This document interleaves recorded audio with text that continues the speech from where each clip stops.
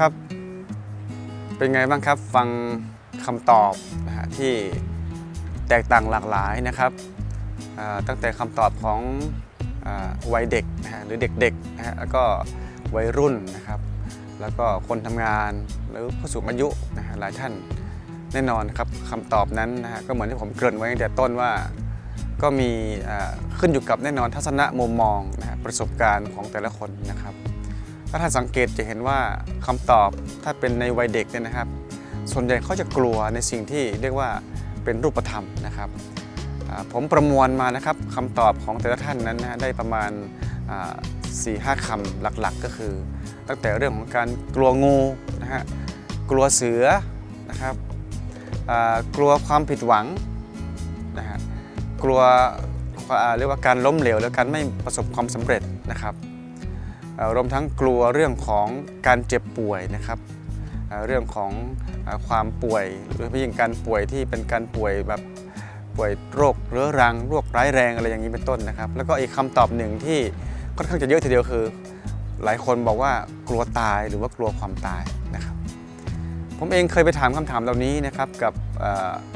หลาย ๆ ที่หลาย ๆ สถานการณ์ด้วยกัน เช่น เวลาไปเป็นวิทยากรหรือว่าถามนักศึกษาในห้องเรียนเนี่ยนะครับ คำตอบก็คล้าย ๆ กันนี่แหละครับนะฮะและคำตอบที่เป็นคำตอบที่เยอะนะฮะค่อนข้างจะเยอะก็คืออาจจะเรียกว่าประมาณเกินครึ่งนะฮะก็คืออคนส่วนใหญ่เนี่ยนะฮะตอบว่ามนุษย์นั้นกลัวตายนะครับเออนะฮะเป็นคำตอบที่ไม่รู้ว่าท่านท่านตอบเหมือนเขาหรือเปล่านะครับ แท้จริงแล้วนั้นนะครับคำตอบนี้เนี่ยถ้าเราใคร่ครวญดีๆเนี่ยก็คือว่ามันจริงไหมนะครับ มันใช่จริงหรือนะครับ มี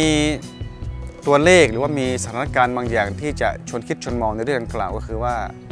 ถ้ามนุษย์นั้นกลัวตายนะครับ แล้วทำไมทุกวันนี้มนุษย์ถึงฆ่าตัวตาย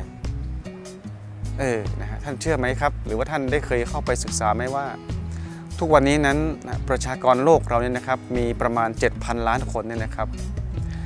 แต่ละปีแต่ละปีนั้นเนี่ยมีคนฆ่าตัวตายนะฮะประมาณ 8แสนจนถึงล้านคนนะครับ คนฆ่าตัวตายเนี่ยนะครับเป็นล้านนะครับ ถ้าคิดโดยเฉลี่ยเนี่ยนะฮะประมาณทุกๆ 40 วินาทีนะฮะจะมีคนฆ่าตัวตายสำเร็จ 1 คนนะครับ นั่นแสดงว่า 2 นาทีเนี่ยมีคนฆ่าตัวตายสำเร็จ 3 คนนะครับ หรือ 1 ชั่วโมงหรือว่า 60 นาที จะมีคนฆ่าตัวตายสำเร็จ 90 คน ตัวเลขเยอะใช่ไหมครับ นั่นแสดงว่ามนุษย์อาจจะไม่กลัวตายใช่ไหมนะฮะคำตอบที่ท่านบอกหรือว่าที่หลายคนตอบมานั้นเนี่ยว่ามนุษย์กลัวตายนะครับ อาจจะไม่จริงก็ได้นะครับ มีการศึกษามีการวิจัยนะครับเข้าไปสัมภาษณ์คนที่พยายามฆ่าตัวตายนะครับ แต่ไม่ตายก็คือตั้งใจจะฆ่าตัวตายแต่ว่าไม่ตายหรือไม่ไม่ไม่ไม่สำเร็จตามที่ตั้งใจนั้นนะฮะ ก็คือผู้ที่รอดชีวิตนะจากการฆ่าตัวตายเนี่ยมีคนไปถามว่าทำไมท่านถึงฆ่าตัวตายนะครับ ท่านไม่กลัวตายเหรอนะครับคำตอบออกมาส่วนใหญ่คล้ายๆกันก็คือ ถ้าสรุปเป็นคำพูดก็คือ เขาบอกว่าแท้จริงแล้วนั้นเขาไม่ได้กลัวตายนะครับ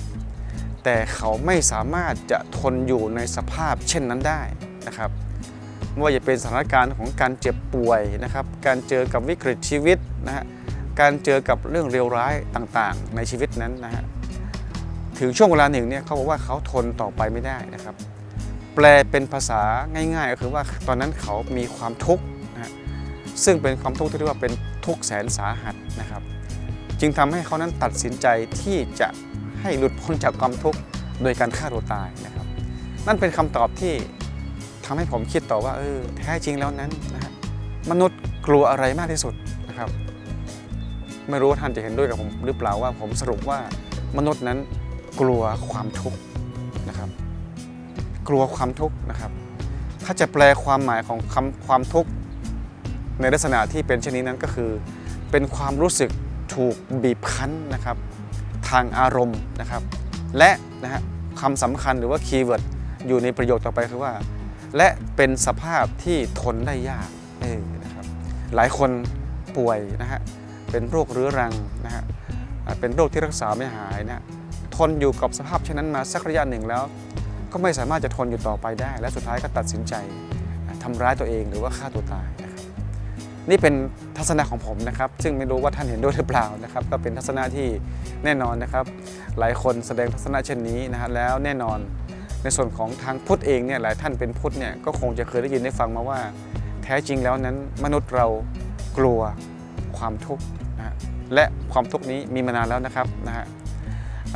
เรามีพระศาสดา เรามีปราดมีผู้รู้หลายคนนะฮะที่เรียกว่าบังเกิดขึ้นนะฮะหรือมีเกิดขึ้นในโลกนี้นั้น ทุกท่านทุกคนนั้นล้วนแล้วแต่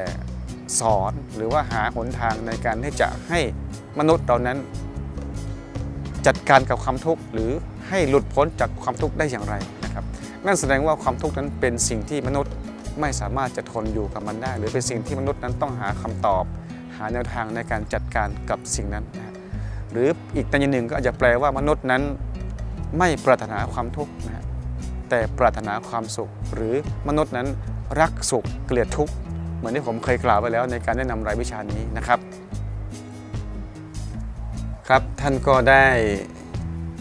ใคร่ครวญนะครับในคำถาม 2คำถามนะตั้งแต่คลิปก่อนหนะนะฮะแล้วก็ในคลิปนี้ก็คือเป็นคำถามที่ถามว่ามนุษย์เราหรือว่าคนเรานั้นกลัวอะไรมากที่สุดใช่ไหมครับคำที่ก็เป็นคำถามอาจจะเรียกว่าเป็นคำถามแห่งชีวิตนะครับเป็นคำถามที่จะนำไปสู่การทำความเข้าใจนะในเรื่องของอาถ้าตามหัวข้อก็คือ การรู้จักได้เข้าใจตนเองนะครับและรวมทั้งการเข้าใจผู้อื่นนะครับซึ่งเป็นสาระสำคัญนะฮะ ที่เราจะต้องมาคุยกันต่อนะในบทต่อไปนะครับ ยังเป็นของสัปดาห์ที่1นะครับสัปดาห์นี้มีอยู่ด้วยกัน 3 บทนะครับ นี่เรากำลังพูดกันถึงบทที่1นะครับแล้วก็จะมีบทที่ 2 แล้วก็บทที่3นะครับก็คงติดตามกันต่อไปนะครับในการแลกเปลี่ยนเรียนรู้นะฮะในเรื่องของความหมาย ความสำคัญ และสาระที่แท้ของการเกิดเป็นมนุษย์นะครับ แล้วก็เรื่องของความหมายความสำคัญ และสาระที่แท้ของการอของชีวิตและการศึกษานะครับในบทที่ 2 และบทที่ 3 ต่อไปนะครับครับสำหรับสัปดาห์นี้นะก็คงจะต้องอจบแค่นี้ก่อนนะครับ สวัสดีครับ